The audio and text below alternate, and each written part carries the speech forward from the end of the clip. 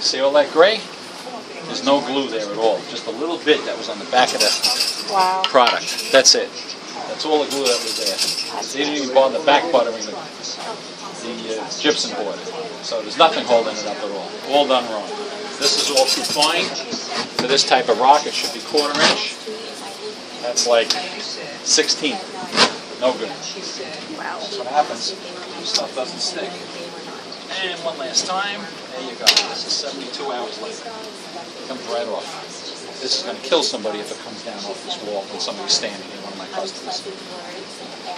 Okay, gotcha. Thank you.